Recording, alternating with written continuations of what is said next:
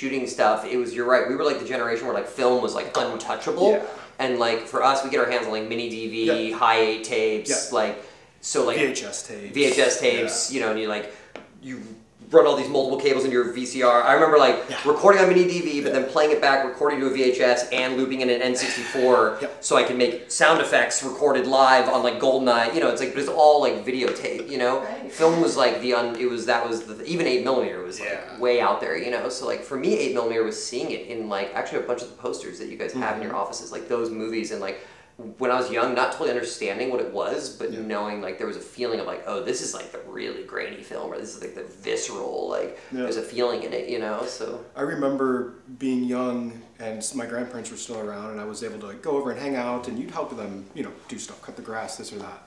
And I remember one afternoon I was in the garage just mucking about with some stuff I shouldn't have and there were reels and there was an 8 millimeter camera but it was all dirty because it was in the garage and I was just like, wow, this is, I don't know what this is, but this is, this is really cool. And there's like an energy about this. I'm not gonna touch it. Hmm. I'm gonna go cut the grass, but like, cool, I see that. Yeah. You know, so that was one of my first like physical hands-on like wow, there's something really special there. I remember being like my parents' home movies too. Like our home movies, I think were video, but my Yes. parents' home movies and my very young home movies were on Super 8 with a little projector in like our basement, and like that feeling, like the sound of it, watching it, like the silence of like also the awkwardness of like you're watching too long family stuff, like you know, and like yeah, that's like which probably ties into winning time actually. This feeling of like So much so. wanting it to feel nostalgic Yeah. because it always was nostalgic for us. From my very first conversation with Adam McKay about this, it comes from the script. Like from our first conversation, it was like this script. It's obvious that the script is self-referential and kind of sarcastic, and it's also obviously pulling from like real stuff that happened in the period. Like, so we knew that the show was going to bring real archival into play. It was going to we were going to be recreating famous commercials, famous movies, famous uh, press moments from the time period and also bring in archival photos. So the idea of like mixing formats was in it in its DNA from the beginning. You know, um, I think the Super Eight came up because we wanted a way to blur the line between what was actual archival and what we were recreating, and to see our actors shot in a way that we remember the real famous people looking on either 16 or 8 millimeter or the Ikegami video stuff. So those were like the beginning conversations. I mean, I feel like that's where you came in. We started like figuring out what each format would do. Yeah. And on the pilot, we were also like still we had our rules, we had our ideas, but I also feel like we were trying it. Like Very much so. many times we were shooting like a wide shot on the pilot. We'd shoot on 35 millimeter, 8 millimeter, and Ikegami. Yeah. We didn't know yet like which was gonna feel right. Yeah, yeah. A lot of I remember the very first text I got from you about this project was like we have these sort of different formats, and we're not really sure exactly. We have obviously ideas, but we're not exactly sure what their home is yet, and we want to nurture them. We want to bring them in and try to try a couple things and uh, see how that works, and then have a conversation about it, and then let it evolve. And it's funny now going back to that because that became such a thesis for those formats for the entire show.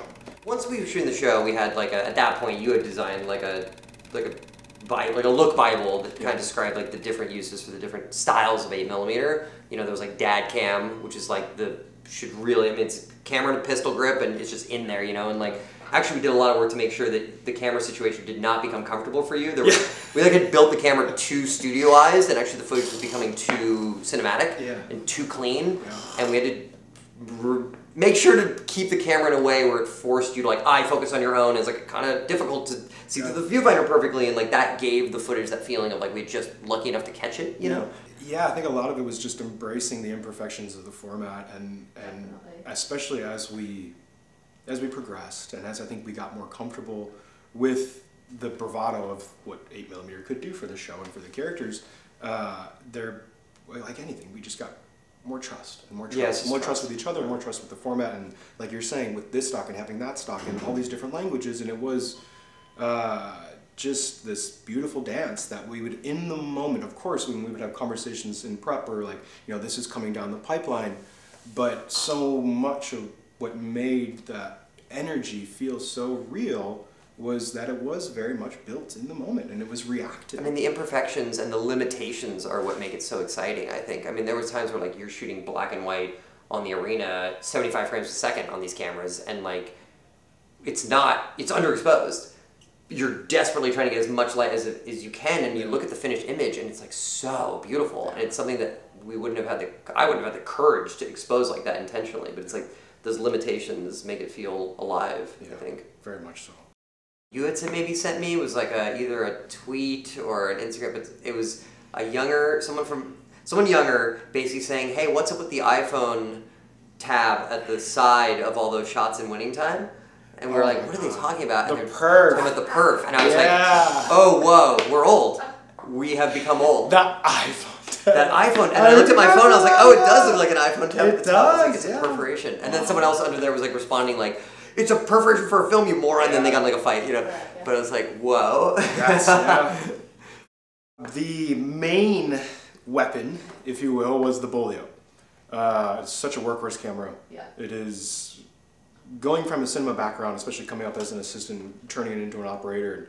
I have the minds of, of an assistant still, and uh, ergonomically, and where things should be. And uh, that camera allowed you to think, and it would challenge you because it had so many different options to it.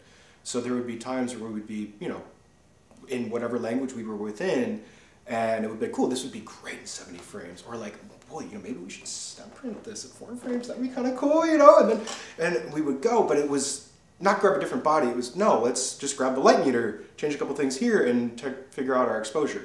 That camera was such a workhorse for us.